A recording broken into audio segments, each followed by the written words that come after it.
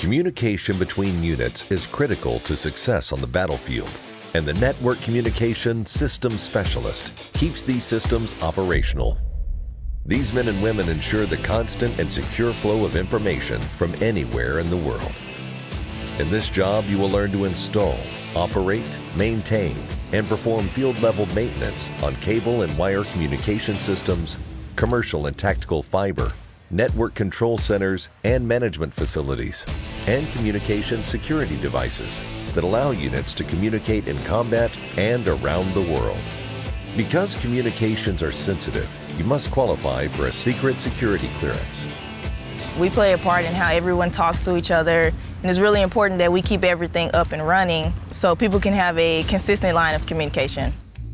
You will first attend 10 weeks of initial entry training, where you will learn basic soldier skills and concepts of Army values.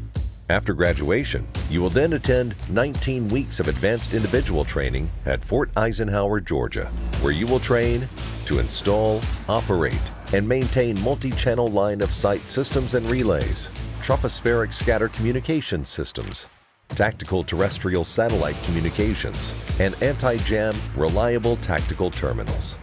You will also learn how to use computers and software tools to perform system and network operations and to analyze diagnostics to isolate potential faults. The most fun part of the training has just been learning something new. I've always had an interest in working with networks, and after getting here, it all just clicked. Additionally, you will train to conduct preventative maintenance checks and services on assigned vehicles, power generators, and equipment. After you have successfully graduated, you will work supporting military operations around the world. Your talents and skill, the knowledge you gain, and the leadership experience you acquire may help you transition from the military to the civilian workforce, where you may find employment in communication and repair career fields.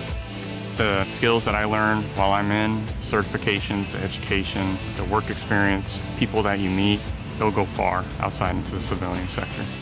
In today's Army, where communication is more important than ever, the soldiers who keep the vital communications for our military operations going are in Military Occupational Specialty, Network Communication Systems Specialist.